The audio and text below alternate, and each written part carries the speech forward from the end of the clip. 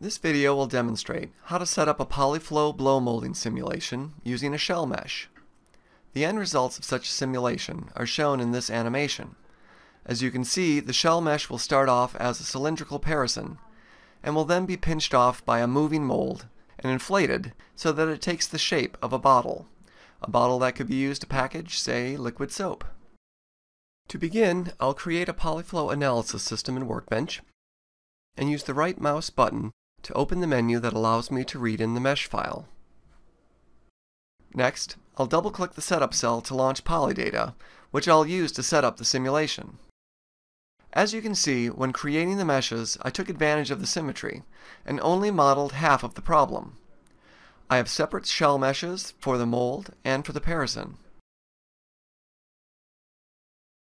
The axis of the parison is oriented in the y direction, and the mold will approach the parison along the z direction.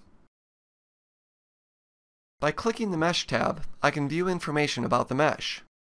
I can see that the mesh subdomains are appropriately named mold and parison. The Info button allows me to confirm that the units used to create the mesh was millimeters, which is consistent with the overall dimensions shown here. Since Polydata doesn't manage units, it's my responsibility to consistently use millimeters as the unit of length for all of the settings that I will specify. Back in the Menus tab, I'll create a new task for this simulation by clicking the appropriate menu item.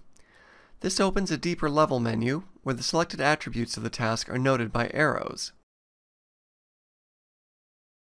I'll retain the default selection that defines it as an FEM task and indicate that it's a time-dependent problem that involves a 2D shell geometry.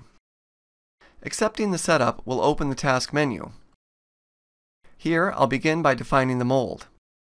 I'll create a new mold and specify that it's adiabatic, accept the default name, and then define the domain to only include the mold mesh, so I'll remove the parison mesh. Clicking upper level menu will return me to the previous menu. Now in the steps that follow, I want some of the settings to be time dependent, so I'll click the eval button.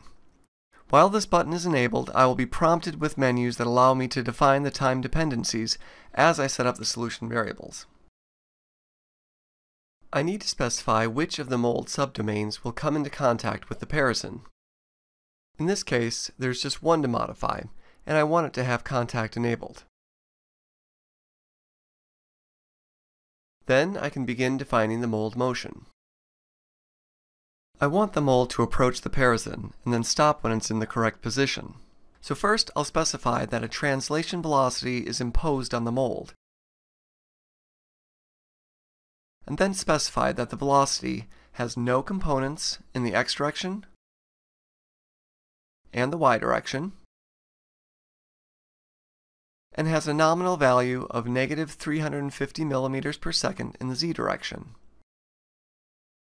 For the z component, I want the time dependency to be a ramp function, so that it begins at a certain velocity, and then over a specified time period, transitions to another velocity. Up until a time of 0.2 seconds, I'll have the multiplier for the velocity I specified previously be set to 1, so that the mold translates at the full velocity. And then almost immediately thereafter, I'll have the multiplier ramp down to zero so that the mold stops. And that completes the mold setup. So I'll return to the task menu by clicking the upper level menu item in the lower menus.